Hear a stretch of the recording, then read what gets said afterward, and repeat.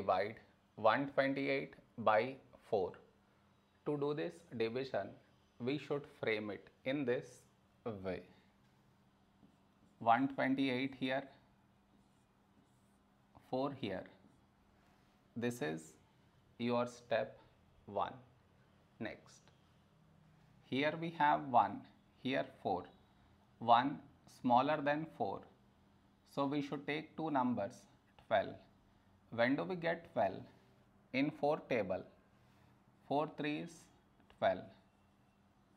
Now we should subtract. We get 0.